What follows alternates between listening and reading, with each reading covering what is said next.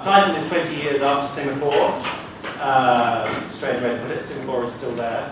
It only seems to me to be to be international agreements and humanitarian disasters where you have to turn a place name into a into a date. Here we are, 20 years after Singapore, and what this refers to, of course, is the uh, removal or the suspension of competition policy explicitly uh, from WTO negotiations uh, in the Doha round. Um, I think one of the, thing, the points to make is that competition and competition policy is probably much broader than simply competition law, antitrust. Uh, obviously, competition, very broadly defined, runs right through trade policy in all its aspects. Um, and I'm sure that, that, that, Rob here will talk a bit about that. Um, but it is worth just mentioning that um, in the last 20 years, there has been an absolute transformation on the global scene of um, the, the, the, the, spread of competition law as such, antitrust law, laws uh, uh, allowing uh, mergers to be blocked on competition grounds, laws against abuse of dominance or monopolization, goes by a number of, of different, uh, different words, and perhaps most egregiously, uh, laws against cartels and price fixing. Um, this has really gone global just in the last 20 years.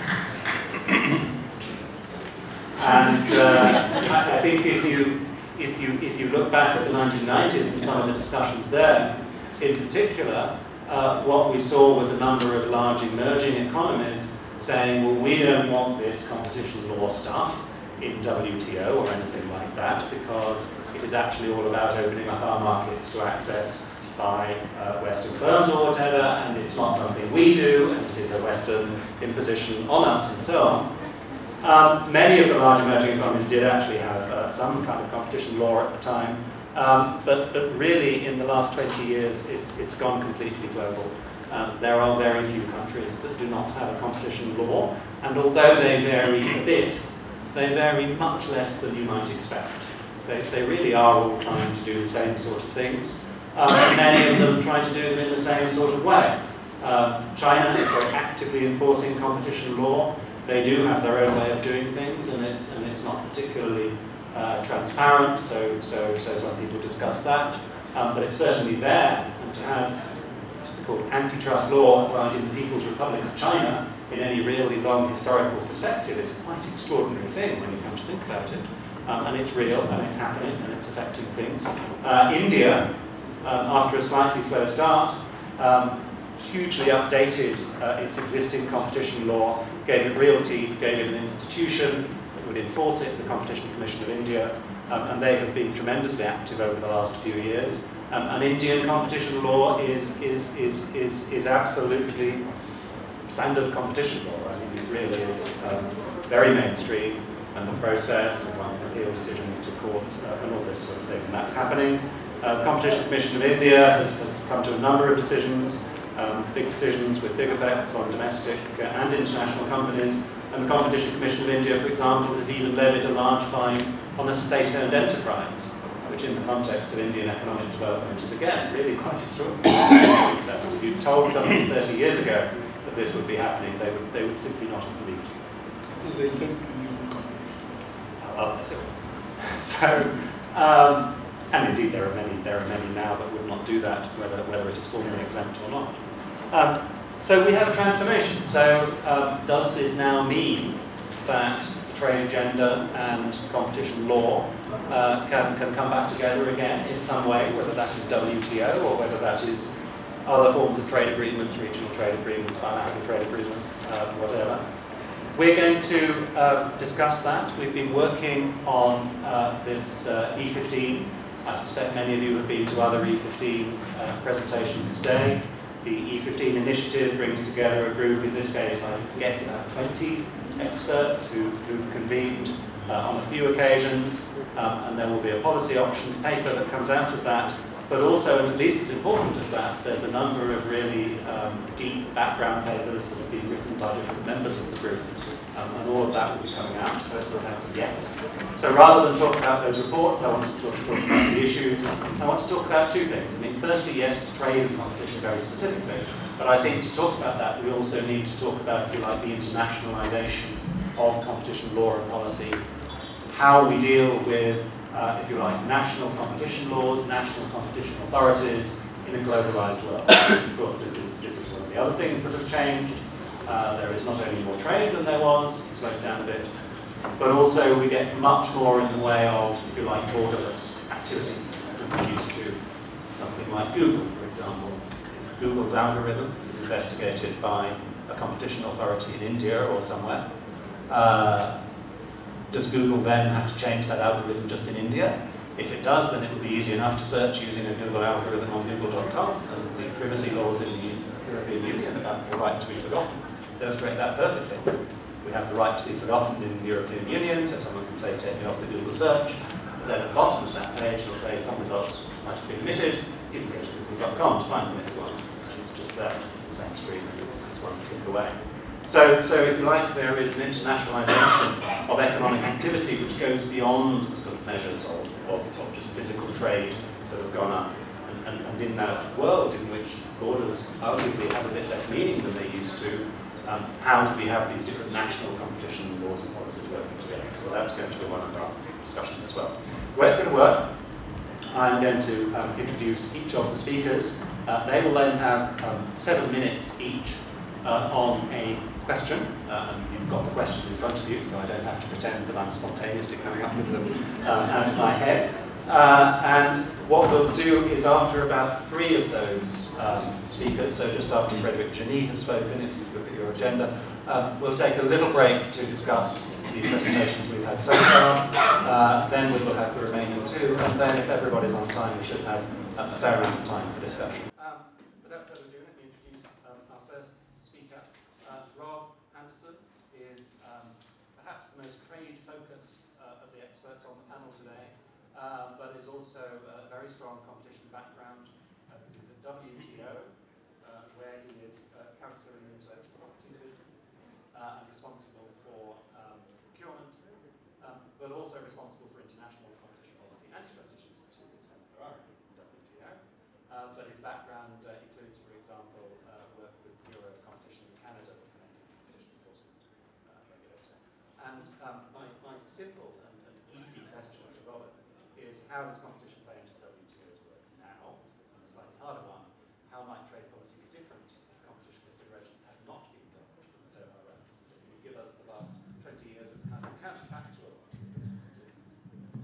Certainly, thanks, thanks very much, John, and, and thank you to ICTSD and the World Economic Forum for organizing this session and, for involving me. And I'll just mention quickly, also present with me is Anna Caroline Mueller, my close colleague who works with me on both government procurement and competition policy issues. And she, she and I have offered, authored a couple of papers for this E15 group, which I think is a fantastic enterprise. So I would like to say that I'm speaking in a personal only, and I'm definitely not going to express any view as to whether you know negotiations should resume or anything like this at all. I'm not allowed to do that.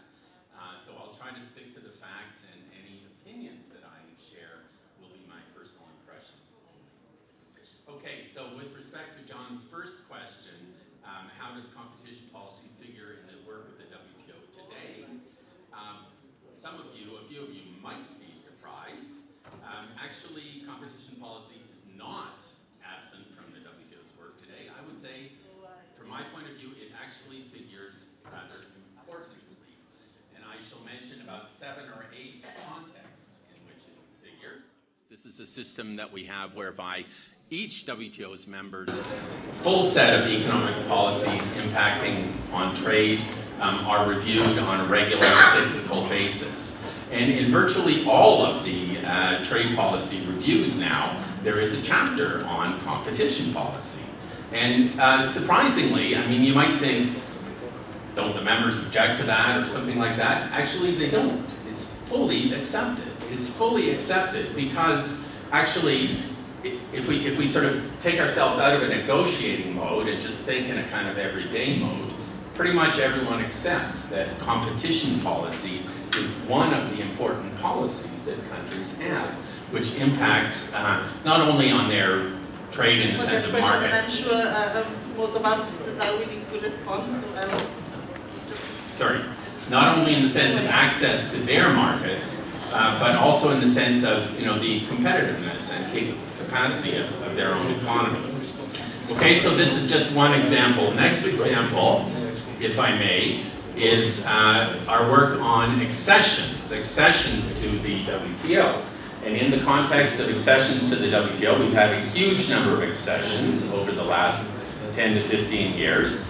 And uh, uh, with a fair degree of frequency, commitments are made regarding the introduction of competition policy or the systematization of competition policy in as part of what we call the accession protocols of countries that come into the WTO. This again reflects a kind of very everyday, kind of common sense. Of course, actually, competition policy is one of the economic policies that enable countries to participate in the World Trade Organization. And actually, really nobody seems to object to this in any, any kind of way.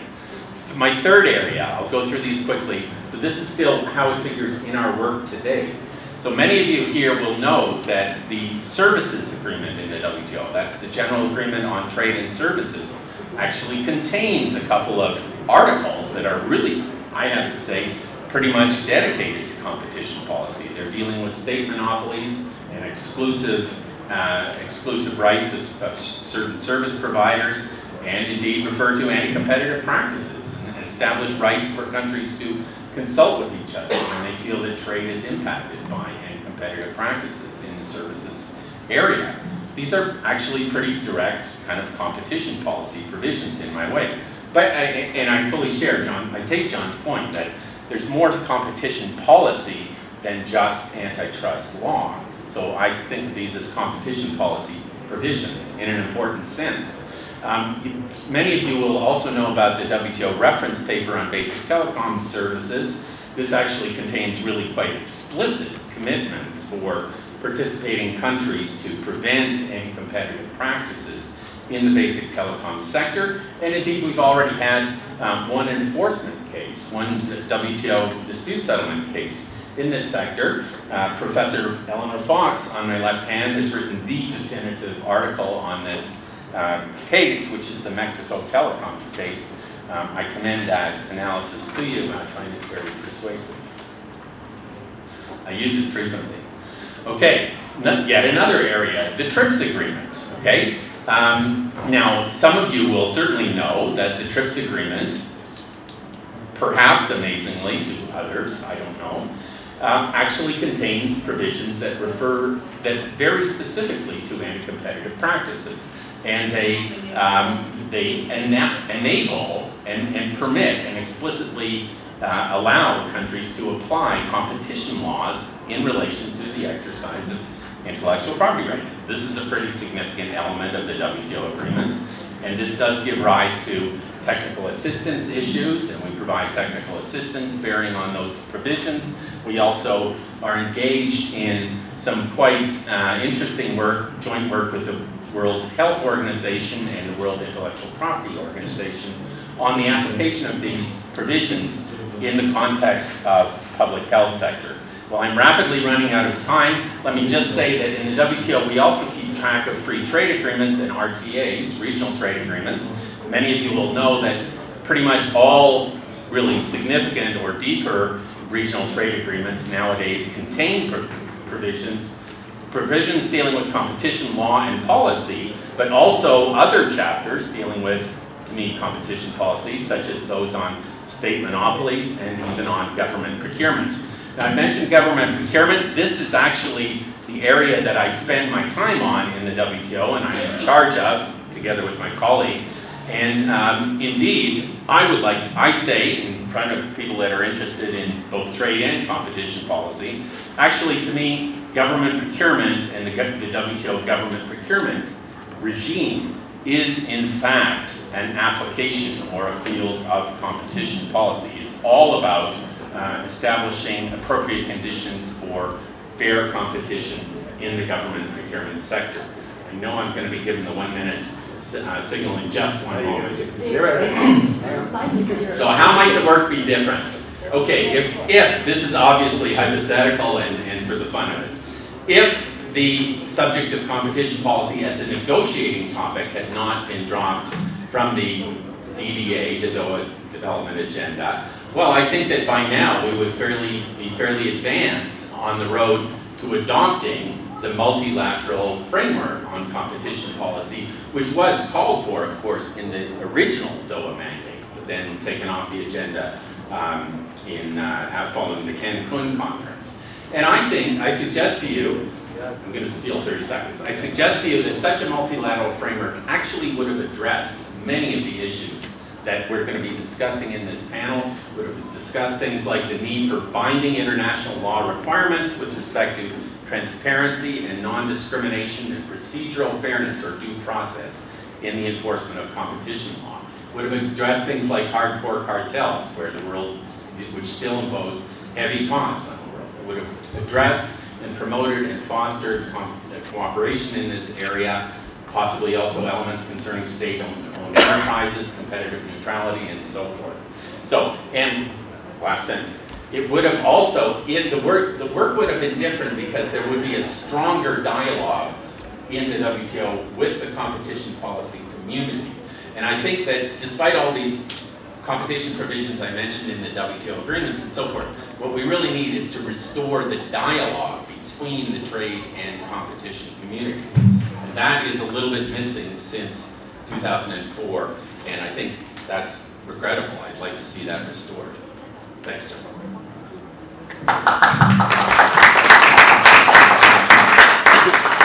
Thank you very much, Rob. Um, worth going over time for. Um, I would say actually that as, as an economist, um, this, this kind of came as a surprise to me when I started getting involved with this stuff. But the various things that you talked about we might now have if we had a multilateral framework. Um, the ones about aligning process were actually in some ways perhaps more difficult than the ones about aligning substance. um, process, due process, the idea of giving international standards for due process is a tough one. We cannot, even within just the OECD up with a, with a sort of soft law international standard for due process. Anyway, um, apologies everyone for the, for the way that other discussions are leading into this one. Back, it just it, well, it just shows how interconnected everything is. there, there, are places in front, and anyone would like to move forward, so I think it's, it's hardest if you're right for that. Let me press on. Um, I'm going to introduce now uh, Jean-Yves Art. Uh, Jean-Yves is a lawyer, Assistant General Counsel um, of Microsoft, uh, but as it were, not just a business lawyer, uh, he is a, a well-respected academic, visiting professor at the College of Europe in Bruges and, and various other places as well. Um, and you can see my question to Jean-Yves, but I will, I will read it out again. As a global business, how does Microsoft view the proliferation of competition laws over the last decade or two? How do you handle multiple parallel investigations internally? Does this allow businesses to play jurisdictions off against each other? So is it a good thing for you? Or is it more of a regulatory burden? Is it bad? Johnny. Thanks very much, John. Uh, in fact, there are three questions. Yes. Uh, thanks very much. I'm very pleased to be here with, with all of you. Very, very honored uh, to be here and share my views on, uh, on these questions.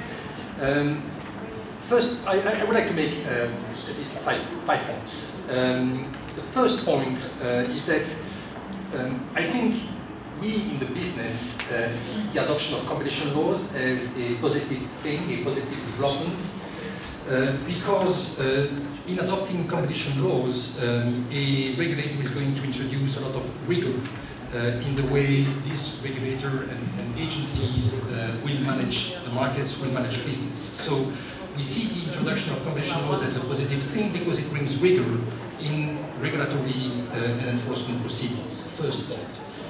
By the same token, um, because it introduces rigor in uh, regulatory proceedings, the adoption of competition law also introduces something which is very valuable for businesses, which is predictability. When you have competition laws, businesses know where they're going, what they can do, what they cannot do. And that is very important for businesses when they come to make investment decisions. So competition law and the adoption of competition laws has those great benefits of more rigor and more predictability for businesses and all this is driving and conducive to, to investment. At least that's, that's at, at the top level picture. That was point number one. Point number two, proliferation of competition laws. Um, if you have, if competition law is very good, you are going to have many countries uh, being incentivized, and encouraged to adopt, to adopt competition laws, and, and there you have a proliferation of competition law. Now, the proliferation of competition law brings with it the risk of um, different and sometimes inconsistent uh, solutions to enforcement proceedings which are going to focus on the same issue. So um, if the adoption of competition law is uh, to be a positive thing, uh, it also means that you need to have some cooperation between enforcers to ensure that you don't have different or at least inconsistent uh, solutions to um, enforcement proceedings which would detract and, and really deprive the adoption of competition law of all the benefits which are expected from that adoption. So to ensure that there is consistency in the results. Uh, that's something which is very important to ensure consistency uh, among the various agencies uh, enforcing competition law on the same practices, the same kind of transactions. Now, um, a lot of progress has already been made, and that's my third point. A lot of progress has already been made in, in bringing agencies together and ensuring that they um, adopt a consistent view or, or coordinate uh, their enforcement activities. A lot of progress which has been made in many organizations, uh, OECD is definitely one, UNCTAD is another one, uh, ICN, the International Competition Network, is more private type of organization with competition agencies talking to each other. So there is already a lot of work being done uh, towards uh, close coordination between competition agencies. This being said, uh, frankly, we're not yet at the end of the road. And uh, in the business, this is something that, that we perceive. Let me give you just one example of a deal. Um, it's an acquisition that we did uh, now a few years ago uh, acquisition that uh, we had to notify in some 20 countries, which frankly is not that much, uh, given that you have more than 120 countries which today have, have, have competition law. So we notified the transaction in 20 countries. The overall uh, merger review took 18 months. That is very long. Um, but what we saw throughout the, the, process is really three things when, we come, when it comes to cooperation between agencies. The first um, uh, element which I would mention is that we, we uh, realize that uh, in some countries, competition law pursue not only strictly competition objectives, but also other objectives that what competition lawyers would regard as a competition objective. Competition lawyers see that the objective of, of competition law is to maximize consumer welfare, have lowest prices, much more, I mean, as varied uh, products as possible. So, so we realize that in some countries, um, for instance, preservation of jobs, preservation of employment is a goal which is assigned to competition law enforcement and which competition agencies need to pursue in their enforcement activities. And therefore, in the review of this merger that we were doing, we were asked whether we could you know, give some assurances that following the merger there would be no uh, job cuts. In the end, there were no requests for commitments, and in the end, we made the informal assurances that the authority wanted, but for competition lawyers and, and, and for us trying to predict what could be the outcome of the review process, that was something which came a little bit as a surprise. So adding this goal um, detracted to some extent to the predictability. Again, in that case, it turned out well, but it's something which we had not you know, foreseen when we planned uh, that merger that we would be asked to provide some assurances regarding employment. Point number one. Then we also realized that many countries, and, and that's a good thing, have, and that's a point which John made uh, in a certain way, they have exactly the same laws, and therefore, to a large extent, they could, um, having the same laws, we were expecting them to agree on uh, the, the solution. And it turned out that those jurisdictions, having the, the same laws, were taking very different and frankly inconsistent position on exactly the same issue. Some countries told us, well, you know, we believe that the merger is going to raise those issues and, and, and we need commitments, remedies from you to address those issues. Whereas other jurisdictions had seen exactly the same issues and had told us, yeah, we, we recognize that I mean, these things may happen in the future, but frankly, we don't believe that these are developments which are really caused by the merger. They could happen even without the merger, and therefore those agencies cleared the merger without requesting any commitment, whereas others said, well, that's something which, on which we work. We want commitments. And then the third development that we realized in doing this merger is that a number of authorities were doing the merger, completing the merger review, and then said, okay, are you going to adopt a decision, telling us, uh, wait. Uh, before we adopt our decision, although the, the, review is completed, we are going to wait for a few others to also take a decision and see where, where they are going. So what, what, what, are, what are the, the lessons that, that we draw from that? I mean, for me, the main lesson is that, again, um, the adoption of competition law is a positive thing to the extent that it brings rigor and predictability. It's not always the case. But more importantly and more generally, I think that we are still not, I mean, there is a lot which has been done in terms of coordination, in terms of agencies to talk, talking to each other, but we, we still so far from the end of the road. And there is so much uh, that, that can still be done to address the kind of issues which I have just mentioned, which are issues of different goals, different views on the same case, um, and sometimes, you know, an issue of cost where you really wonder whether it is possible to improve the process so that those agencies who are going to rely on what others are going to do, um, I mean, have their voice, but do not really require the full engagement which those other jurisdictions may, may require on their own. So um, this means that for me, uh, a lot needs to be done. It can be done in various um, uh, fora. Uh, maybe WTO is that fora. We'll, we'll see. Uh, but, but there is still work to be done to bring in convergence and to take really the full benefits of having those competition law around the world. It's, that's really the goal. You know, take the full benefits of that. We need more cooperation between, between the states and between the agencies. Thanks very much. Thank you, Thank you, Jean-Yves. Um, yeah, I mean, you, you, you, draw a clear distinction there between these two things that perhaps are going on. One, one which one might call convergence, which is about competition laws and regimes becoming more similar. And we could, we could talk about sort of to what extent we need more of that. But then also, even, even if they are all, all similar or even the same, there is need, I would suggest, for cooperation between agencies for, for the kind of consistency of application.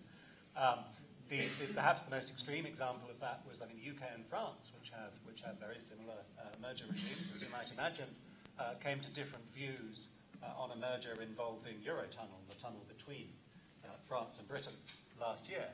Um, and clearly, you know, the tunnel's got one end in France and the other end in the United Kingdom. One cannot, as it were, have a merger at one end of it not also affect the other end of it. And there isn't really a mechanism uh, for resolving those sorts of disagreements. Basically, the, the, party that blocks the merger will normally prevail because, because you, you can't go ahead if a, if a, if a jurisdiction is blocking. Um, let me turn now uh, to uh, Frédéric Jenny. Um, it's, a, it's a real pleasure for me and quite an unusual experience for me, uh, this, because uh, Fred is the chairman of the uh, OECD's competition committee, so he is normally in the chair when we're in the same room uh, together. Um, and he has done uh, far too much in his career for me to read out, or we would, we would spend the whole time um, doing that. But he is an economist who has also been a judge, which I think ought to be, ought to be enough to establish his credentials on anything. Um, but let me also mention uh, that Fred was the chair of the working group on trade and competition. I might have the title of that not, not exactly right. When competition was within the WTO process, uh, so speaks very much from personal experience there. Um, and, and, Fred, the, the, the question uh, that I've asked you to address um, it's a real shame that everyone's already seen these because otherwise it would sound like a, like a perfectly um, uh, spontaneous follow-on because, because uh, Jean-Yves raised precisely this point. This question of non-competition objectives in competition laws. Some countries have non-competition objectives uh, in competition laws, particularly but not exclusively developing countries. Um, is it desirable to keep them out in a world uh, in which competition laws exist in such a wide range of countries now?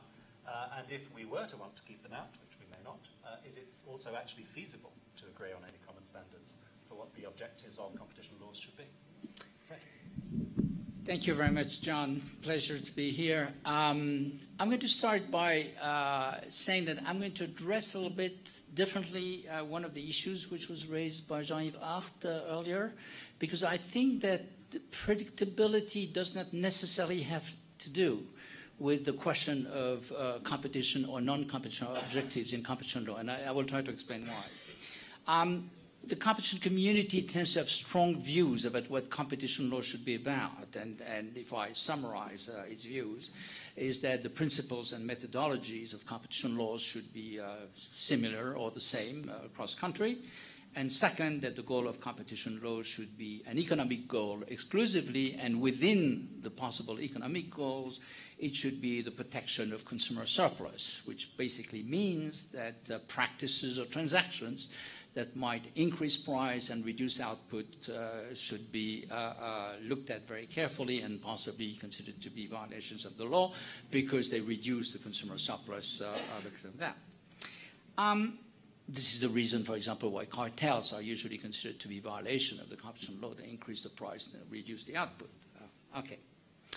Now, this is fine theoretical view. Uh, I'm not sure that economic theory exactly says that uh, because there, there are discussion among economists on whether a global welfare rather than a consumer welfare test uh, would be more appropriate, but roughly this comes from the theory.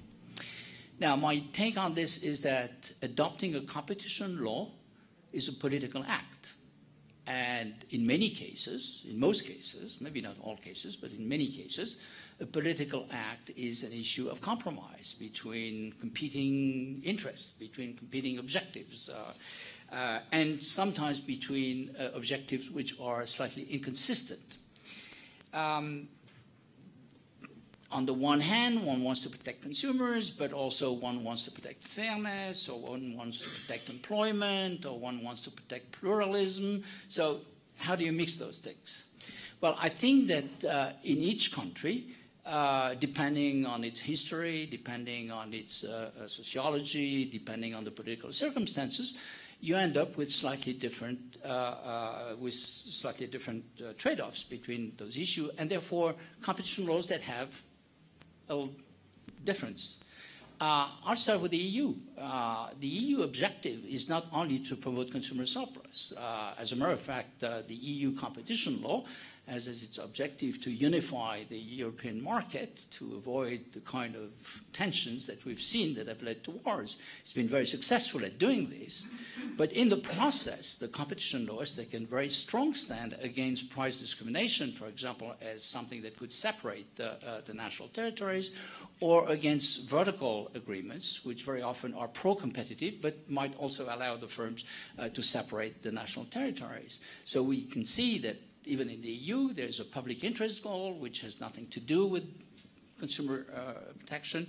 Uh, but really what the fathers of Europe wanted was to try to avoid the repetition of the kind of tension that they'd seen before. So it's only natural that they would add this as, as a goal. Uh, if I take Canada, Canada is this tiny country, I mean, not geographically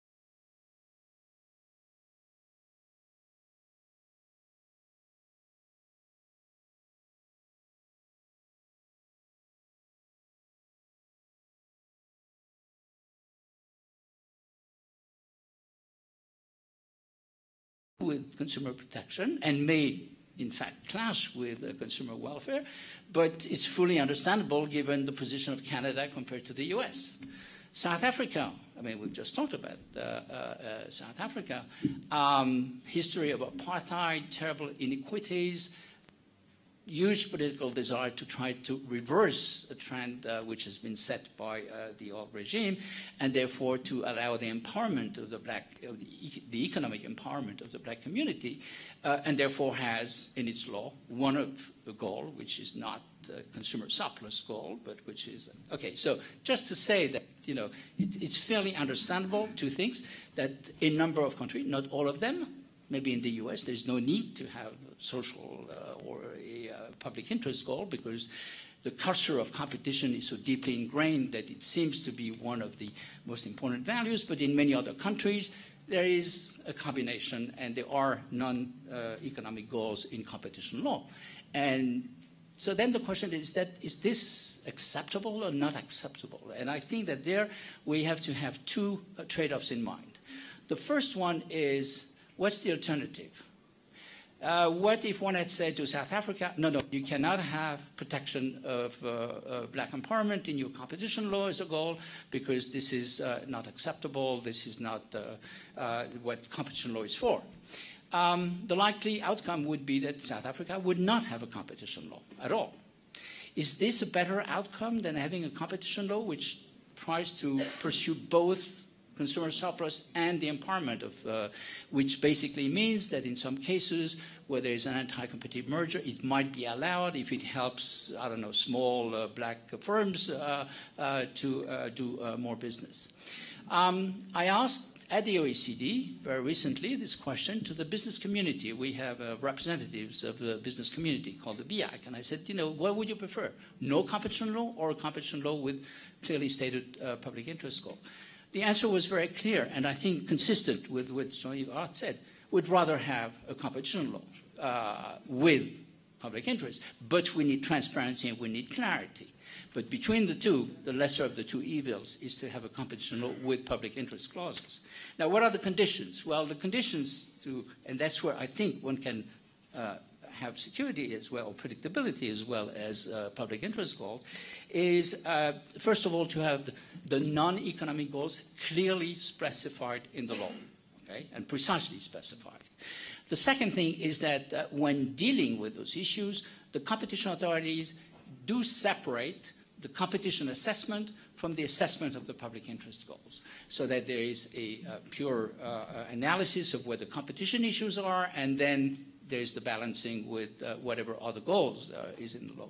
And the third one is that exactly what uh, South Africa is doing right now is to provide guidance to the firms on how the public interest goals, we pretty much know how the competition criteria will be applied because there, has been, as uh, Jean-Yves said, a lot of convergence throughout the world, but we don't know exactly because the public interest goals are different from one country to the next, how they're going to play. So guidance on this. Now, if you have clear separation, clear goals and guidance on how the balancing is going to be, you get a lot of predictability. Yeah, I'm just coming to the second question, uh, and it's going to be very short. The second issue is, uh, which has been raised, is should competition authorities themselves do the balancing between uh, the competition uh, goals or the economic goals and the public interest goals? Or should we have a system where, on the one hand, you have the competition authorities doing the consumer uh, uh welfare analysis, and on the other hand, you have, I don't know, a sectoral regulator or somebody in charge of the public interest goal?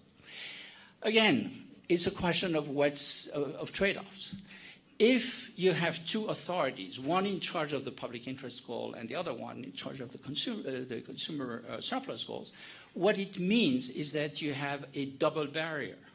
Uh, a transaction can get through only if it meets both criteria. There's no balancing between the two.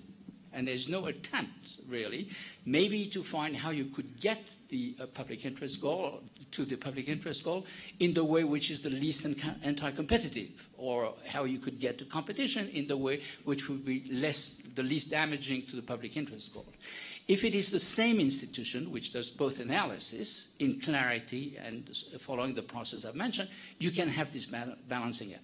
What's the best solution? I think personally the second one is preferable uh, because it leads to more reasonable and more consistent uh, uh, solution. But this is a, a, question. So finally, on the on the third kind of question, do we have standards? First of all, I think that on the public interest side, there is no way uh, we can have a normalization of what would be public. It very much depends on the history and the political uh, reality of the countries.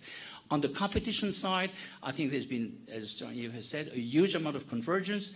And by now, except maybe in abuse of dominance, but for pretty much everything else, there is sufficient consensus uh, among the 130 countries. Uh, they have different means, they may have different abilities, but, but basically there's a consensus both on the type of analysis that you should do and uh, the kind of result that uh, you could expect. Thank you.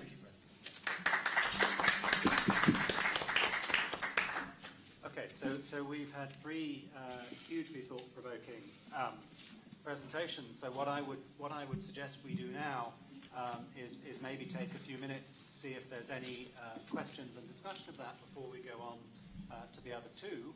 Uh, and, uh, and, and I would include potentially the panel if the panel wishes to, to ask questions and comment on, on one another's uh, thoughts, including, of course, the two panelists who have not yet spoken but who will do so very shortly.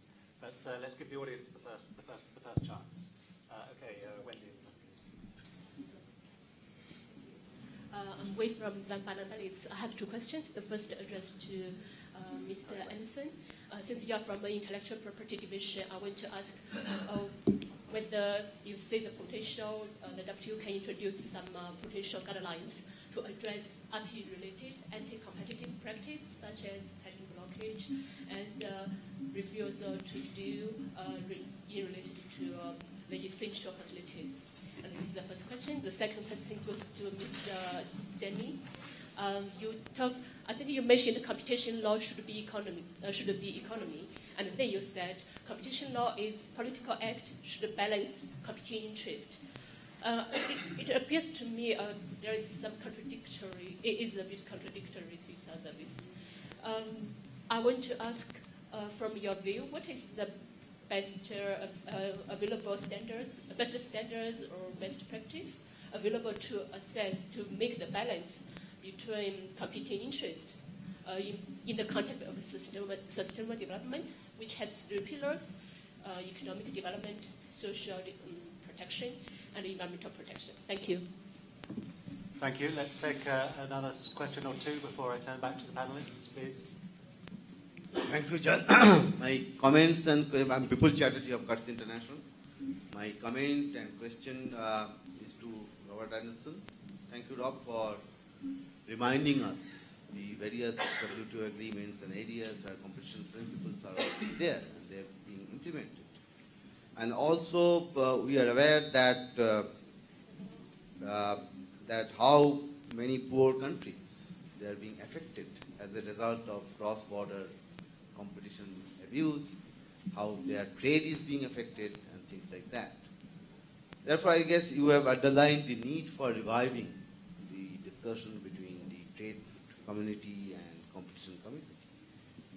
Now, taking all these things into account, rather than reviving that dialogue, why you think that uh, there is not so much of appetite for the multilateral framework for competition policy? Thank you. Do we have any more questions, comments from the audience? Over there, please, and then over there. Thank you very much, Trudy Hartzenberg. I've actually been asked by Rob to ask this question. And I'm very happy to do so. Oh, um, but not to say it. but not to mention it. This is how they operate. Please go ahead. A very practical question. Rob, as Bipul has indicated, has reminded us of the importance of competition in a number of areas of, of the WTO trade governance. But some years ago, a decision was made to drop competition policy from the regional trade policy courses. And this is a great pity because it is featuring more and more in the regional trade agreements and in the national governance dispensations. Rob, please, can we motivate for the revival of that capacity building initiative? Thank you. Thank you. And I think we had another one over here. Yeah. Yes, uh, I am Moses Muito from uh, Egerton University and I'm uh, an economist by training. Now, my question uh, lies on the uh, miraculous growth of the East Asian countries. Now, basically, we all know that trade liberalization is anchored on the assumption of perfect competition. But several commentators have argued that East Asian miraculous growth has no uh, singular explanation. That is, there is no single model which explains this growth because as much as this country is trying to um, abolish uh, trade restrictions, they also protected some of the key uh, industries. Now, I wanted to know what is your uh, response to these sentiments? Thank you. Okay, thank you. Do we have any more from the audience at this point? We will have more discussion later. Okay, um, I'm going to hand over to, to Rob, uh, who got most of those questions, um, and to Fred. Um, I'd just like to comment briefly on that, on that last question. Um, I think the, the, the, the uh, my perspective um, from, from the OECD is, and from what I've, I've read in the literature, um, and I'm, not a, I'm certainly not a macroeconomist, uh, is that there is, there is quite some evidence that, that competition uh, was actually crucial in the um, successful development in East Asia uh, as well. There is, a, there is a sort of tendency to think that it was the state control and the restrictions that, that drove things Uh, but for example, um, the work of, of, of, Michael Porter and, and Sakakibara uh, in Japan sort of looked at different sectors and, and found that, as it were, those sectors which were actually most protected were those in which Japan was notably unsuccessful in exports, such as kind of wide-body aircraft and things like this, whereas it was more the sectors which faced vigorous competition at home which turned into the world beaters. Um, so I, I, I think shouldn't necessarily, I mean, I agree with you completely that those economies are not examples of perfect uh, free competition, and indeed no economy realistically ever, ever is. Um, but, I, but I don't think that necessarily means that, um, that, that, that, that, state intervention can be, can be ascribed the success of those. Anyway, um, I'm the chair, not one of the panelists, so let me turn. Um, Rob, I'm going to give you uh, three minutes on all of those different questions you got. I'm then going to turn to Jean-Yves to see if he wants to um, respond on anything that Fred said, and then I'll turn to you, Fred. So thanks for these excellent questions. Uh, one for the future of the TRIPS agreement. Now, I think it would be actually premature for me to say that the WTO could offer, literally offer guidelines on this issue. As quickly as I can, um, I do think the area of the interface between competition policy and intellectual property is a really, really thing that would have to be determined by the WTO's members. But I can definitely say that there's a lot of interest and discussion in this topic. And indeed, as I mentioned during my, my talk, my mini presentation, there are two explicit articles in the TRIPS agreement which very explicitly talk about anti-competitive practices and remedies for anti-competitive practices and so forth. And also this issue has come up in a big way in what we call our trilateral work with, with WHO and WIPO on public health sector issues. And either I or my colleague Anna can give you the references and things like this. So the, the, the short answer is I don't think we can yet do guidelines, but there's a strong demand to talk about these things. And I, I, we need to do that, and it should be a dialogue that involves the competition community as well as the IP community and the trade community. So uh, I've already used up all my time, I'm sure. Um, so, uh, uh, oh yes, so um, many poor, I, I, excellent question from Cuts, and I agree. You know, I, poor countries are victimized are, are, are, the most vulnerable to anti-competitive practices. And I think this wasn't that clearly understood at the time when we did the work with, uh, in, in the committee um, more than 10 years ago. But I think it's, it's abundantly clear now. I mean, to a significant degree, not perfectly, but I mean, developed countries look after their own interests rather effectively in this area. It's really developing countries that need the help to grapple with these issues. And so, why is the appetite not there? I, I actually think the appetite is growing, and I think there's a far better uh, understanding of the relationships between, you know, anti-competitive practices, poverty, and inability to realize the gains from trade. I think actually one of the reasons that I think some people are disappointed with the impact of trade and has it fulfilled its promise in terms of promoting growth and development. These are fair questions, but I suggest that you know one of the answers, part of the answer, lies in the the lack of an adequate you know, transnational kind of competition policy framework. Anyway, there we are. Uh, the why not? There's your own planted question. Ah, my planted question. Yes, yes. So uh, thanks ever so much to Trudy for picking up on this. And uh, uh, actually, competition policy was excluded initially from the trade policy courses when this issue was taken off the uh, the negotiating agenda. But I completely take your point that actually it's a you know, it, it's front and center in regional trade agreements. And again, when I say competition policy in, in, regional trade agreements, I'm not talking about only the chapters that are called competition policy. I'm also talking about the chapters on state monopolies, government procurement, and so forth. These are competition issues, and they're and and yes, at the national level, internal reforms, competition policy is central to the whole thing. So I'm actually engaged in a dialogue with our uh, sort of our training learning center, and I will be delighted to carry forward your, your question, your question, which you put really put me on the spot with that one. And um, uh, and uh, John really answered the fourth one, but just as I like his answer, and uh, in addition to the authors he mentioned, Robert Wade is another one who's made the point about East Asia and so forth. And uh, I think some people would argue that actually Japan's post-war growth process started with what was called the Zaibatsu deconcentration measures and things like that. So, I mean, there are different readings that are possible here. Okay, thank you.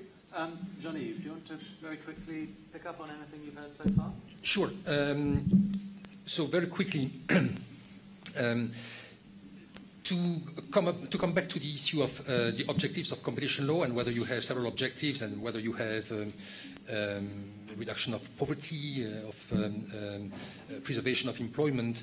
Uh, I think that the preference, of course, and naturally, the preference is to have just one objective, which is objective competition law, even if it's purely economic, even if it's purely consumer welfare. This being said, um, if I mean, legislatures decide to have more objectives in competition law, I mean, they have the legitimacy to do that, and, and therefore it is something which uh, we, we, fully respect.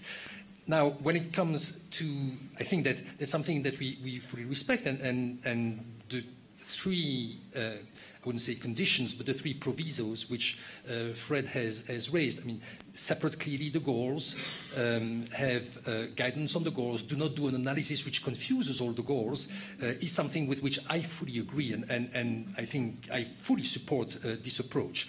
It's express the, goal, the goals, separate the goals, and have guidance on the goals. Plus, plus, have guidance on the balancing act because that's probably the most tricky one, but that's the one where we will get the kind of predictability that the business needs when it does that. Should the balancing be done by the competition agency? Yes, I mean, why not? Of course, um, because the, the, key condition is really to have that predictability, this legal certainty, this visibility on how the balancing act uh, will be done.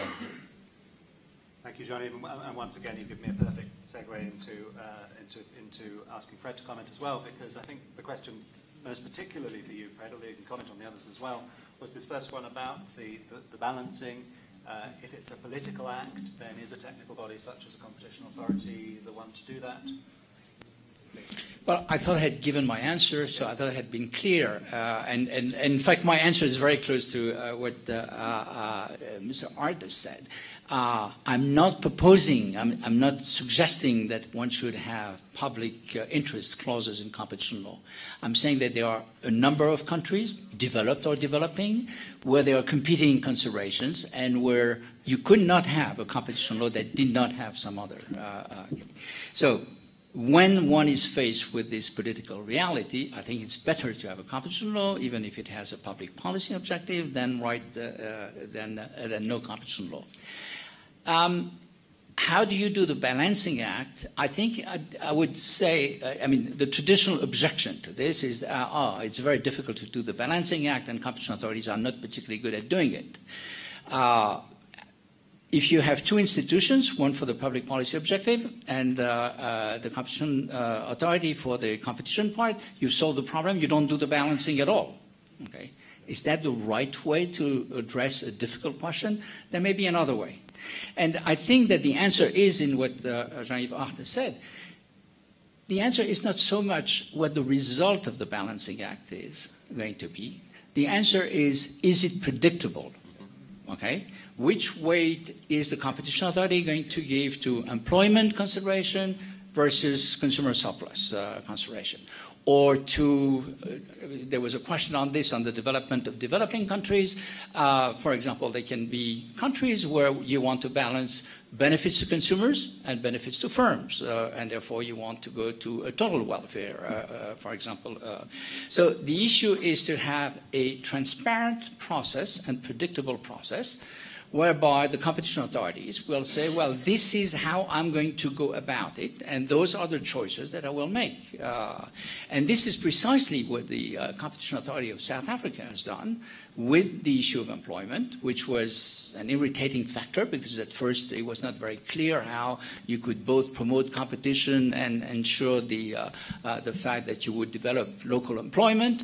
Uh, first few cases were done in, in I think, a reason. Even the Walmart case in the end was was fairly reasonable, but the pro- the process was not reasonable because it was not predictable.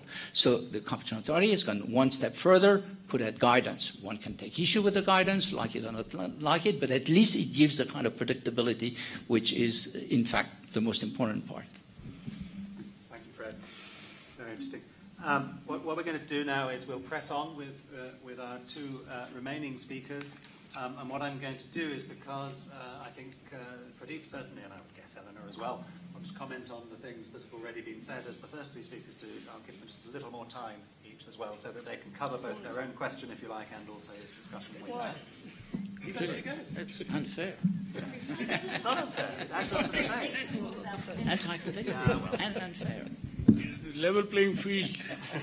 you can use up your time arguing, or we can get on. It's competition jargon. Pradeep uh, Mehta is uh, Secretary General and founder of CUTS International, uh, the Consumer Unity and Trust Society. Uh, so this, I, I, think most people know of it already, surely. Uh, this uh, CUTS is, a, is an NGO um, based in India, which has, which has played a hugely important role in, in bringing competition and pro-consumer perspectives both within India and in the wider world, particularly here in Africa. Um, and in particular, I think as a sort of south to south organization, it has a unique voice when it's talking to, to governments in developing countries. And I think especially here in Africa, CUTS can claim to have had a, a, a really strong key role um, in, in, in the spread of competition law and good competition law and good competition policy. So um, it's a real pleasure, pleasure to me to introduce Pradeep. Um, so the question I've asked you to address, uh, but you can also pick up on the points we've made, is about export cartels.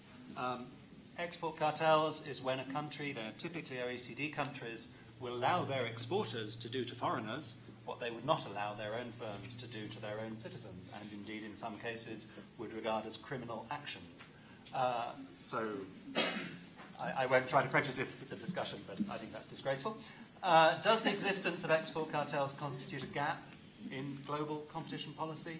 Uh, Pradeep, is the problem one of inadequate laws, or is it a practical matter of difficulties in enforcement of existing laws? Particularly, can developing countries do something to challenge this system? So please address that and also. Thank you. Uh, let me begin with two minutes and uh, responding to some of the points already made. Uh, I think uh, Fred made the very important point that competition law, particularly, is situated in the political context in any setting. So every law is different. It has to take into account the local context very clearly, and this has been our experience of working in the trenches for the last 20, 30 years. And the same principle applies for the WTO as well, the political context. And therefore, John and some of you were under a wrong impression that it was only competition policy which was thrown out of the Doha Development Agenda. But a bigger agreement, uh, possible agreement on investment policy, which is probably the most difficult one for the developing world because it was going to curb the policy space, was coupled with it. And thirdly, uh, transparency in government procurement. If you look at Singapore issues, only one remained trade facilitation. And this is, uh, John, with due respect, I often find in when we're talking to competition community, they feel that competition policy was singled out to be thrown out of the development agenda. It was not. Let's be very clear. And that goes back to the point which the uh, un- underscored point what Fred made, and I was taking it up to the international level, that political politics matters quite a lot. And this applies to uh, the way domestic laws also have to evolve and how they evolve, how they are implemented, how they are not implemented. Now, South Africa, you gave an example. Another very difficult, interesting case is that of Malaysia, where Sons of Soil policy seems to have determined, including a very late passage of the competition law. Uh, just to give you an example. So now, in India, we also have affirmative action, but the competition law doesn't cover affirmative action issues at all. It does cover employment in a wider sense. It, uh, employment is an issue which is covered by all competition authorities in one manner or the other. uh, Rob, one very important point which you forgot to mention in the context of WTO the possibility of having an investment policy and competition policy is a part of the built in agenda under Article 9 of the TRIMS agreement. That's so, true. It, so it has not come out of the blue. uh, or the sky, and that is what propelled the discussion at Singapore, and including the, the discussions which have happened.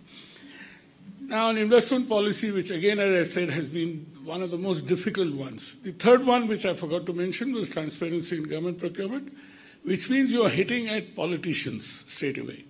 And therefore, getting that through in the developing world would be very difficult. But anyway, coming back to that point, so just to mention that uh, the recognition of having a competition policy has been agreed in the Uruguay round under the TRIPS agreement, Article 9, and therefore from the basis of which, more importantly, uh, John I'll come to after this two minutes, I'll come to my presentation and sequence it there, Segute. Just two minutes. Now I'm keeping a watch. Fred, don't disturb me. Please take out these 29 seconds is disturbing me. right. Uh, when the GATT was founded and there was a discussion in the uh, in Havana, Cuba, and even there, developing countries recognized the problem of cross-border restrictive practices, which was discussed just now between Bipul and Rob here. The biggest problem with developing countries have faced are not only export cartels, but international cartels as such. Even at Marrakesh, in 1994, when the WTO deal was being signed, an issue was raised by uh, the developed uh, world that we should have labor standards also in the WTO, which is another contentious issue. And by the way, John, we do a hell of a lot of work on trade policy. So, as you could see, it's not just competition. Now, there, the Indian Commerce Minister responded, fine, we're ready to discuss trade and labor standards if you're ready to discuss trade and competition. Even at Cancun, the government of India was willing and ready to discuss competition policy. My dear friend Pascal Lamy made a blunder by, you know, obfuscating the issues that two out of two and so on. And therefore, otherwise, competition. John, this is to respond to your point that the large emerging countries, particularly India, was ready to discuss competition policy, even have a competition policy from the beginning precisely to address these many questions. This is a very clear realization since 1994. Now, in the context of export cartels particularly, uh, what we have seen, in particularly in primary commodities, uh, which are, or I would say, uh, natural resources, uh, fertilizer called potash, which is naturally mined, it is not manufactured. Then bananas, coffee, palm oil. The latest uh, on the uh, table is Indonesia and Malaysia, which are the two major producers of palm oil, uh, generating about 80% of palm oil, have decided to join together in order to control the prices and the market. Just to give you one particular example. Potash. Fred Jenny's study itself has shown, which we have uh, often worked together, Potash is mined in Canada, in Belarus, in Russia, and uh, one of the other two other countries as well. And it is used as a natural uh, phosphate-based fertilizer, and particularly in large developing countries, agriculture countries, including the U.S. or, or uh, India, China, potash is consumed in a large way. What Fred pointed out was it was costing $1 billion a year to India and China indi- individually. That was the impact of the, uh, of the potash cartel. China was uh, much more competent that it dealt with the potash cartel subsequently down the line. Uh, the fact is that this is not only one, I mean, the biggest uh, natural resource cartel is oil, crude oil. Unfortunately, the prices have fallen because of economic factors, but people have raised questions in the past that how can OPEC be a cartel which is legitimate? The question, the answer that we often got, it is a sovereign activity, which sounded to me to be you know, very difficult at all. Any event, they did not get, uh, they did not get, uh, I'm keeping a watcher, they did not get uh, any handle on uh, on OPEC. But as I said, we are very, very lucky. The prices have fallen from about 100 plus dollars to today about 38 dollars or so. But that is because of several other economic factors.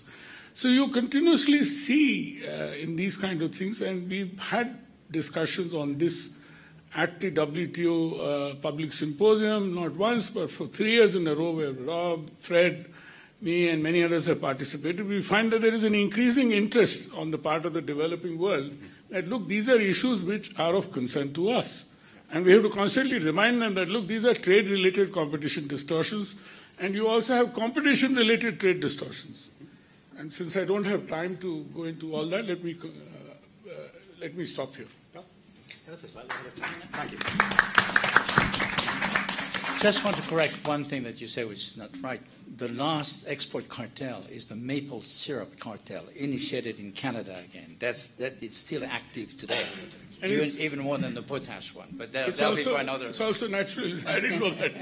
I mean, Canadians like maple syrup. and producers even get expropriated. It's extraordinary. It's the Soviet Republic of, of, of Canada. There you go. Um, quite right to point out, of course, uh, Pradeep, that, that, that Cuts has been hugely active and influential in trade policy as well. In fact, everybody on this panel knows a lot more about trade um, than I do, and that certainly applies to our last speaker, uh, Eleanor Fox. Uh, Eleanor is uh, a lawyer, professor of trade regulation um, at New York University School of Law. Uh, she's a former partner in private practice, but uh, and, and many, many other things as well. Um, and she has uh, is particularly, I think, uh, recognised as as one of the, the, the, first and most prominent people to really tackle the issues of, of how uh, competition and development uh, come together, competition in developing countries. And I would also mention that she was a member of something called ICPAC, the um, International Competition Policy Advisory Committee to the Attorney General of the United States. And I would mention that because although we're sort of all celebrating the fact of how things have moved on, um, the ICPAC report back in the late 90s said some things that if you were to drop them into uh, a discussion of international competition policy today would cause people to shrink in horror at precisely how, how bold and, and, mm-hmm. and radical they are. And this was, this was something produced within the US system. Anyway, um, Eleanor, uh, so your question, uh, but you are also very welcome to comment on the other things uh, that we've been discussed. Is, is there such a thing as competition policy for development? And if there is, well, what is it? Yes, thank you. Okay, thanks a lot, and it's very nice to be here. Um, I would like to start my remarks um, with an experience I had today here this afternoon, and it's about trading competition. And then, secondly, I will answer John's question. And thirdly, I'm going to return to what is really the big picture of trade and competition. Does it have a place in the international agenda? Uh, so, for my first minute, maybe, um, I attended the very good meeting, which was the opening plenary of, of E15 uh, around noontime. And uh, there were, I think, five um, ambassadors or ministers talking about the following subject Priorities for the WTO in an evolving global trade and investment architecture. And they were basically asking, what is the architecture? We have to have a vision for the new architecture. We have to have co- coherence in our system. Uh, so I sit through the speeches, all of which were really excellent, and there was almost no mention of competition. There was one. Uh, this was by uh, Jonathan Fried from Canada, who actually had to leave early and didn't hear the rest of a, a certain rest of question and answer. Um, but basically, um, the group was talking about restraints. Sometimes they were trade restraints. Sometimes they were in an area where you would think, first off, possible competition restraint, possible competition, blockage of the market such as global value chain, such as digital economy. And yet, competition wasn't on the table, of course. Um, I mean, of course, because we, predictably, I should say. Um, so I said in the question period, um, you know, there are a lot of restraints. Some are by the state, some are private. Some are by the restraint by the state having a commercial hat on. Uh, this is a continuum. You've been talking about the continuum. I'm sorry, you've been talking about trade and trade and investment, and there's a huge hole in the picture. Um, is there room for competition on the post Doha uh, uh, um, agreement and negotiations? Uh, so, uh, Professor Patrick Low uh, was the one who answered my question, and this is what he said. He said, Of course, competition is relevant, uh, meaning business and business restraints. Um, but he said, the right question is can you implement competition policy in the WTO? And the answer has to be no. Um, I think maybe uh, we all or most of us disagree. But that is the question. Uh, how, not actually, the question to me is how to implement competition in the WTO agenda. It is the elephant on the table. It's a huge hole if you don't address it.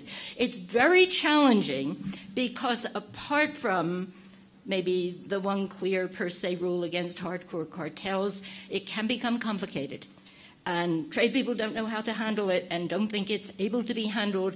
And there is a myth that to incorporate competition in the trade agenda, you're going to write rules that are going to be in concrete and applied to everybody, and you're going to have a world competition authority that's going to control everything. That is a myth. It is not the way to go. And I think there really is a burden on us, as the, at least us who are competition people, who think there are issues that you cannot talk about the global economic system, including importantly the trade system, without talking about the other side of the coin. Okay, so now I come to John's question.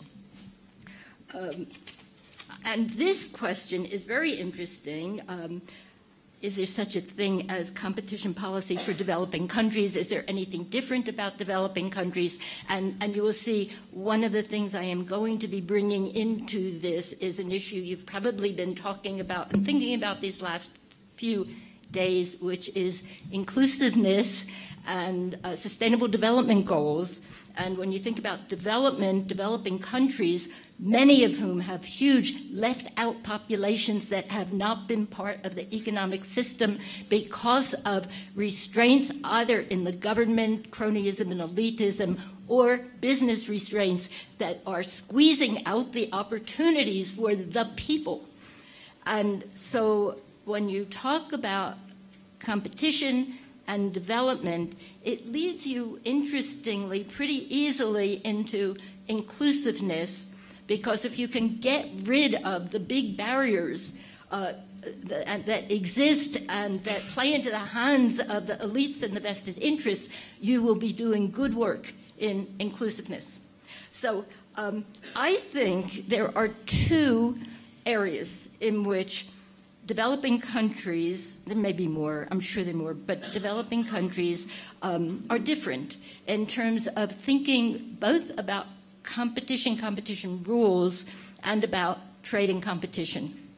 And my first point is um, developing countries' markets. This is a generalization, but tends to be so. The markets work less well. If you look as a contrast at the United States market, our market works very well. Um, it's not astonishing, maybe it should be, that our Supreme Court has said, don't worry about monopolies, the market will always catch it. Um, but it's much more astonishing to even think such a thought in developing countries where the monopolies are mostly um, state owned or or post state owned and are imbued with many privileges and are very entrenched and have a huge amount of power and privilege. So both developing countries and developed countries want rules that will make their markets more robust. Thank you.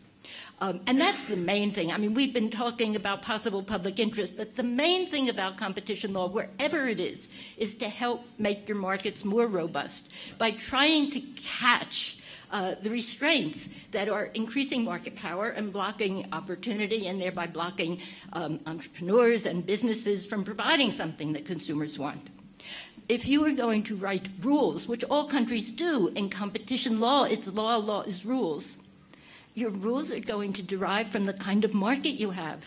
So U.S. writes rules that says be very, very careful about intervention even against a monopoly firm because the market will catch it and you're going to end up protecting inefficient competitors.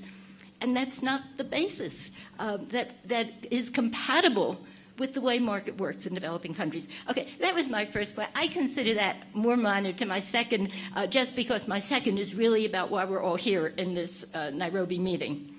Um, so this is my proposition that developing countries are in a, a, a, a great and maybe unequal position uh, to be seeing and carrying forward the plan to integrate trade, state restraints, and competition. And that's because developing countries are very often um, so impacted by the one ball of wax. Um, if it isn't a private restraint, it's a trade re- a state restraint.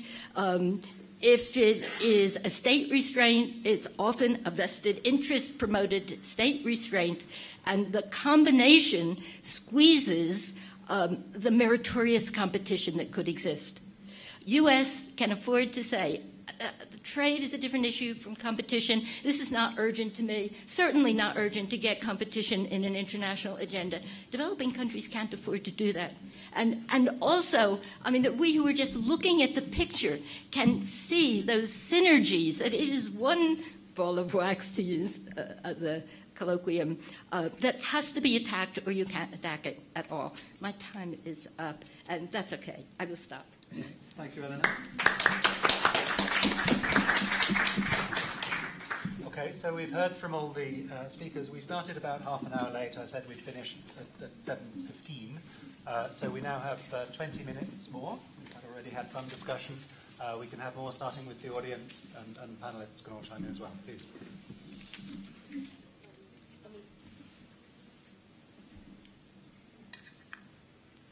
We from Balanbelis. And uh, my question addressed to the speakers.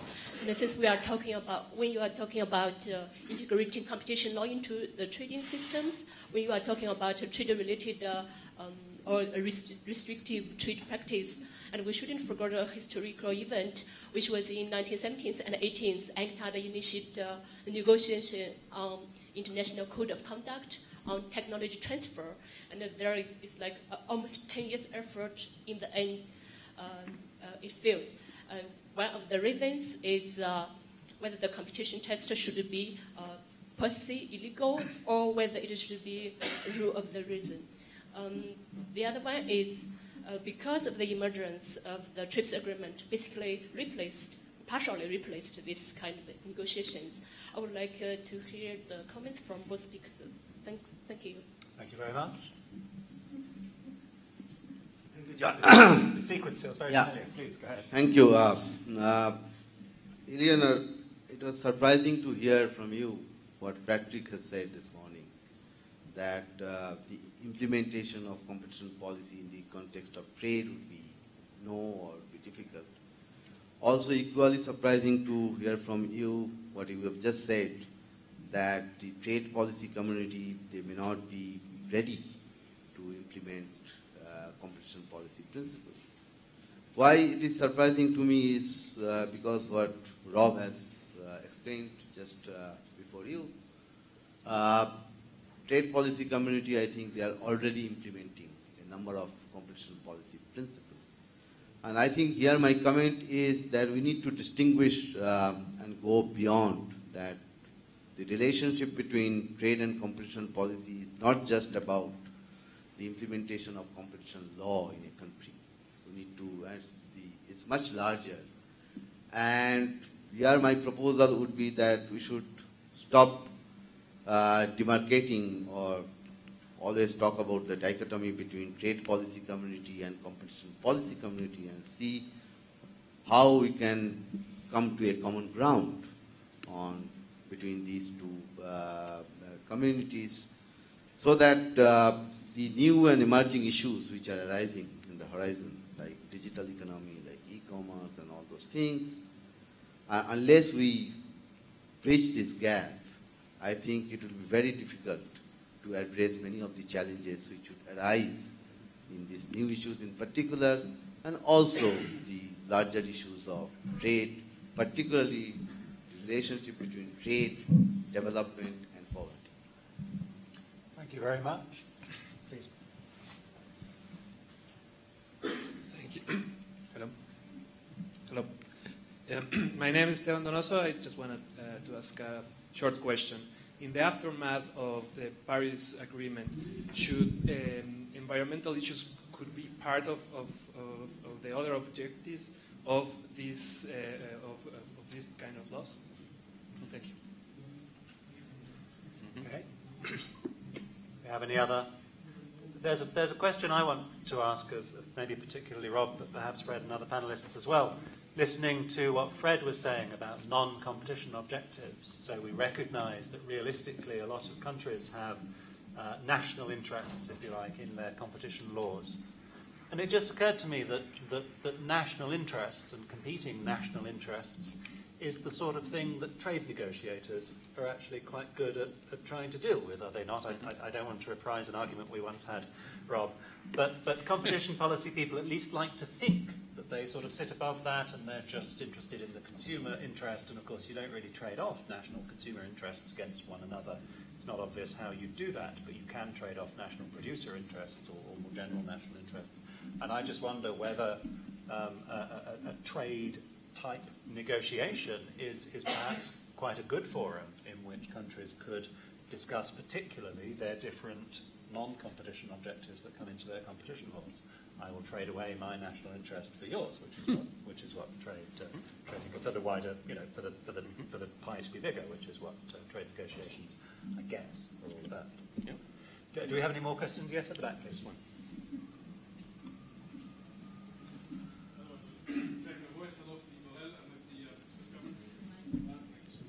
I wanted, uh, thank you very much, by the way, for the presentations. My name is Philippe Borel. I'm with the um, Swiss government. I wanted um, perhaps a comment and then a, a question. The first is um, with reference to, uh, for develop, to bring back another developing country perspective on this. That's the angle that I'll be taking on, on the questions is um, why would developing countries want necessarily to bring in um, competition policies? It was mentioned that it's a political decision, but there are obviously vested interests that are hiding behind those. And what does it mean, for instance, in social market economies to bring in uh, a competition policy? So, what's the motivating factor for um, some of some of those uh, for developing countries? Some of them take on pro poor policies, consumer protection. So, for instance, on chicken prices in Guatemala. I think there was a case at uh, one point. But maybe um, Pradeep Mehta could comment on that. What is the developing country perspective? Why, for instance, if I'm not mistaken, it's in Cancun, huh? India is one of the, Cancun, that India is one of the countries that raises its fingers on investment and in competition, and, and why, did it, why did it do that? And then the second question is in response to Eleanor Fox's comment about uh, competition issues in um, global value chains. I'll try and be brief. Um, they're having a discussion next door about voluntary uh, sustainability standards in commodities, for instance, and we sponsor, um, uh, how do I make this brief? Um, we help, uh, we sponsor projects uh, with Swiss uh, economic development that allow, for instance, coffee producers uh, to link up with their export representatives that then provide them the service of certification for the European market. And they provide data, for instance, to these export companies, and that data then responds or belongs to the export companies.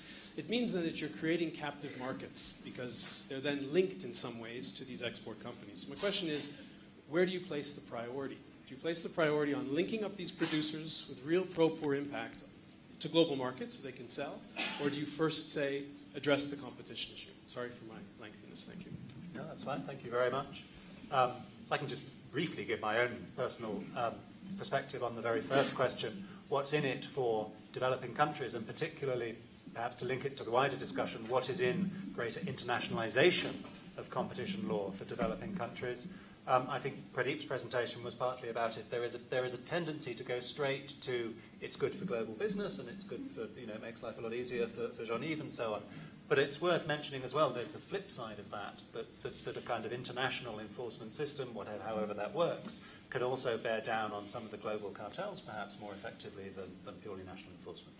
Do we have any more very quick questions to the audience? Because if not, then we have just enough time for two minutes from each panelist. Good. if you're very good at that. So two minutes for each panelist. Shall we start at this end and move that way. Okay. Um, on the on the last question, uh, I, I, would say that, uh, which links, by the way, to another question which was asked earlier: what's in for developing countries uh, in competition? Uh, and uh, when we look at the evidence, we talk already about the development of Asian nations. Uh, I think everybody would agree that the import substitution model has gone out of fashion. Now, what was the base of the import substitution model? It was really domestic industrial policy with protectionism and lack of, of international competition. Why has it gone out of fashion? Because it hasn't led to a lot of development. Now, first one. So, second, clearly developing uh, countries need to build up their industrial capacity, absolutely. And at the same time, they need to develop the incentives that will make that those developing firms uh, will remain performing and, and uh, efficient. Uh, okay. The question is how do you balance the need for increased capitalization on the one side, which would lead to higher profits and, and, and protection of the firms, and the need to keep them alert and therefore to have the market incentives that are brought about by competition. So I think that uh, the, the, one of the reasons why uh, uh, firms would want, uh, a developing country would want to have competition is to keep that pressure going, to keep that uh, uh, with the necessary checks and, and balances. Um, the second one, which is a big one, is that in a world of globalization, how do you protect yourself against anti-competitive practices that come from outside? If you don't have a competition law, nobody is going to cooperate with you. Even if you have one, it's not obvious that people are going to cooperate with you, but at least you, will have the beginning of a domestic instrument. Uh, and you're very much more exposed in the global world uh, to uh, such transnational abuses, whether they are uh, uh, transactions or, or, or, whether they are uh, anti-competitive practices. So I think that it's, it's a bit naive to say, oh, competition is not good for developing countries. I think that there are real reasons why developing countries might want to have a competition policy, which doesn't mean that their competition policy or the competition law should be just copied from the ones that more developed uh, countries have. And that's where uh, this discussion about the combination between uh, uh, uh the traditional objective of consumer protection and possibly some uh, public policy objectives comes in. Thank you. Let me uh, carry on from where Fred uh, spoke about, not where he left, uh, in terms of the. And this issue was raised about East Asia. Now, Japan and Korea developed very strongly through a very strong industrial policy, protecting their borders very strongly. They did allow competition within the country, but not allowed them to be faced by, and that is where there is a classic debate of industrial policy versus competition policy. Uh, the point which uh, Fred made in terms of you know what how countries develop their own economic policy, uh, the larger rubric of economic policy in order to get uh, to where they are uh, going. Particularly to answer your question, sir, from uh, Switzerland. I would say quite wrongly, India opposed investment policy. It's not only India, uh, but there were a large number, particularly Africa. If you remember in Cancun, it's the Africa group which walked out on Singapore issues, led by the then trade minister, who is the incumbent Secretary General of UNCTAD, Mukhisa Kituyi.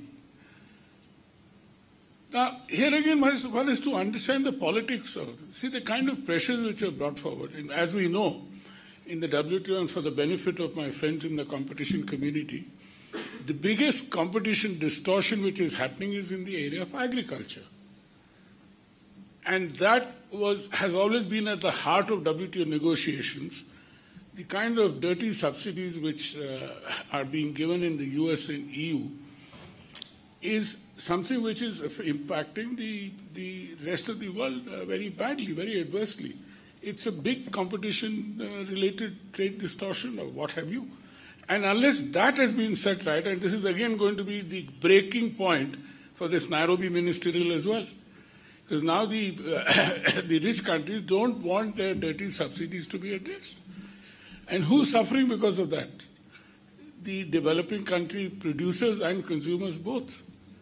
Now, going back to investment policy, as I said earlier, India has always been ready from 1994. Publicly, it has been stated by the Trade Minister of India that we want a competition policy in the WTO.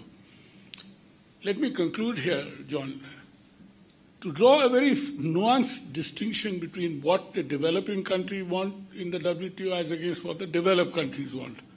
The developed countries would have been wanting a multilateral agreement on competition policy. The developing countries have been asking for a multilateral agreement for competition. Let us understand the distinction, and there is, this is rooted in Havana Charter discussions as well. Thank you. Thank you, Freddie. Eleanor. Okay, thank you. Um, I'm going to take the questions in the reverse order. Um, the first question about food and sustainability and global value chains, and the question is really anticipating what happens when competition policy comes into conflict with, say, environmental or food security policy.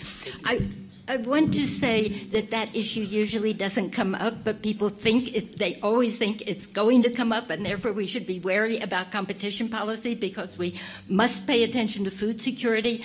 Um, most of the restraints in a vertical chain are not anti competitive but are facilitating, uh, for example, facilitating global value chains that people from developing countries might be enabled to be part of. Um, if they do come into direct conflict, uh, one can think about how to, to weigh, um, but it's not the most important issue um, because it doesn't usually come up and can be dealt with. All right, secondly, um, uh, Bipul, your first question, because your second one was actually more interesting and, uh, and, more important to me, both interesting and important. Um, you noted that maybe I didn't give Rob enough credence for talking about all the places in which um, competition is actually in the WTO. And here I also want to address your question, which is TRIPS a good model for thinking about competition in the WTO? TRIPS is actually a good example of why I didn't start first with all of the pieces of competition in the WTO. TRIPS is about protecting intellectual property. So there's a competition element by the back door that says, okay, well, states can also, we're, not going to prevent them from articulating antitrust principles. Um, the backdoor competition principles well, let's start, I'll start it over again. There's only one agreement in which, you might have more, but the one I know, in which the competition is not by the back door, and that's services uh, and telecoms. So we need it, and you said it has to be front and center. It has to be front and center. Okay, could I have a minute for Bipul's second point, which was really, really interesting about um, talking about there's this convergence of competition policy. Um, which involves the state, it can involve private parties. Uh, there are many um, groups, including what, what um, Pradeep does every day, looking at the problem on the ground um, grain, for example, wheat, for example, where are the state restraints? Where are the competition restraints? How can we have a unified and holistic view of getting rid of those unnecessary restraints? Um, this is really important to do. The reason I didn't mention it is because I don't see a rule coming out of it for WTO. So I think of it as a, an enterprise that should proceed full force um, and doesn't need, it can be done horizontally, doesn't need to be implemented in the WTO. Thank you. thank you. Um, Rob, more of the questions were for you than, than others, but, but you've really got to keep to two minutes. So, so choose which to answer with care. Okay. So, um, for, so first of all, I think John made a, quite an interesting point that you know the idea of examining policy trade-offs and bringing greater transparency to policy trade-offs, you know, is something that we do all the time in in the WTO. And I, so, you know, for example, um, uh, many of the WTO agreements contain explicit sort of carve-outs for health and public health and safety objectives, national emergencies, these kinds of things. So I, th- I think there are ways of sort of uh, clarifying the scope for um, non, let's say, consumer welfare objectives and things like this. It, it would, it, it's a discussion that could take place and, and would be tractable, I suggest. Okay, so um, I would like to, uh, in my remaining 20 seconds or whatever I have, uh, I would like to uh, indicate why I, why I am cautiously optimistic about the feasibility for examining and, and sort of renewing the dialogue on trade and competition policy um, in the, today's environment as compared to where we were in 2003. So there's really four or five main factors. Number one is the proliferation of competition law across the globe, which, which John mentioned and, and which people like Pradeep have contributed to, and of course Fred and, and, and um, everyone has. So, but the point is, where developing countries, there was there was credibility to the idea that developing countries had no capacity or very limited capacity in this area in 2004. That's much much less the case today. There is a lot of capacity and a lot better understanding, and there's a lot better understanding that it really is developing countries who are hurt the most by international anti-competitive practices. And um, secondly, I think that, and I take this from, I think this is what you were suggesting, Jean-Yves. I think there is, there's potential interest in the business community which was not there in 2003. And what's the reason for that? It is precisely the proliferation of competition laws. You know, back in 2003, the, the horse wasn't quite out of the barn. And now it's very clearly out of the barn. India has a real competition law. China has a real competition law, and you know, so do you know 120 other countries. And the business interest has an interest in seeing that that bringing transparency to that and a little bit of you know elements like non-discrimination and so forth. And thirdly, actually, the whole world is is putting competition chapters into trade agreements at at the regional level. Everyone is doing this, and there's no reason why the same things can't Everyone, be done in the. WTO. I agree. And my apologies to John. No. Okay, thank you, Rob. And last word, Jean-Yves. Okay, I, I will be uh, uh, very brief. Um, and building on what you just said, uh, Rob, what is the place uh, of uh, the WTO and, and, what is the place of competition in, uh, in the WTO? So, I mean, seeing it from my perspective as an individual competition lawyer, even if I have absolutely no legitimacy or credibility to, to address this issue, the way I see it is that um, the proliferation of those competition law has brought this need for more coordination, more convergence. Um, and uh, more convergence is going to people have a dialogue, they talk to each other. All those agencies are talking to each other. This is creating the trust which makes a multilateral agreement possible. So, for me, the way I see it is that this coordination taking place, those discussions taking place in OECD, UNCTAD, in ICN, make the um, integration of competition into a multilateral agreement such as the WTO much more possible. Second point, it is going to, I mean, all those discussions, all those coordination, convergence discussions in all those uh, institutions, especially in ICN, which is really driving a lot of work at the moment, will at some point come to a limit. And at that point, competition authorities, I think, will realize that they need to move beyond that point because there are some limits to what agencies can do together in informal, informal fora and in informal discussions. So the way I see it is that you know, bringing competition back into the WTO is not simply possible, but it's something, something, at some point, something which is going to be needed by the competition world and by the competition uh, community, whether it's business, for sure, but also agencies. Thank you very much. Thank you, Jean-Yves. Uh, thank you all very much. This has been a, uh, this, could, this discussion could go on, but it's not going to. Um, but but I, I, just want to finish by pointing out this was, of course, the discussion of the E15 uh, uh initiative on competition from WEF and ICTSD. And I, I, want to conclude by not only thanking the panelists, but also thanking uh, the people from WEF, uh, Christian here, and ICTSD, uh, Marie and Rashmi, uh, who's, who, who worked tremendously hard to try to try to sort of herd along these experts with the very divergent and very strongly held views, some of which you've heard today, and they've, they've, they've done a terrific job and continue to do that. So the E15 report and reports will be out next year, uh, and I'm sure we will have more discussions of those, but can you join me in thanking WEF, ICTSD, and others. And thank you all very much as well. Very good stuff.